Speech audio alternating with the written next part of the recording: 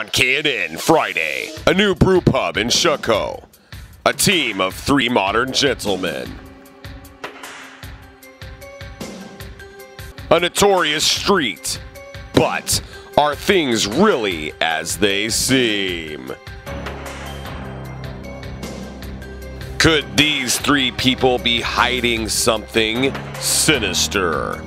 A Kodak Cronkite investigative report. Aaron Cannon, mild mannered manager, or man after the ladies' hearts? Aaron, handsome as all hell with a sleeveless barbecue stained red Converse t-shirt. Biceps were gleaming from sweat as he stood over a massive barbecue that definitely wasn't overcompensating for what this American stallion was packing. Jesse Hopwood, boy genius brewing expert, or late night Shekou fling?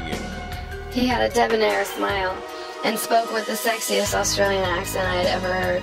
And perhaps the most mysterious man in our investigation, Mark Prop. Managing director or puppet master pulling the strings? Something that disturbed me was there was another man up top in the shadows. A handsome but dark man. His name tag said Mark, and he didn't say much. He just loomed over and watched everything. I felt like he was the real man pulling the strings on this pub staffed to the brink with man meat. In fact, in a way, I guess I could say he was the sexiest man in the building. I definitely want to buy him a drink on Friday. All these questions and more will be answered in our special investigative report Friday. Don't miss it.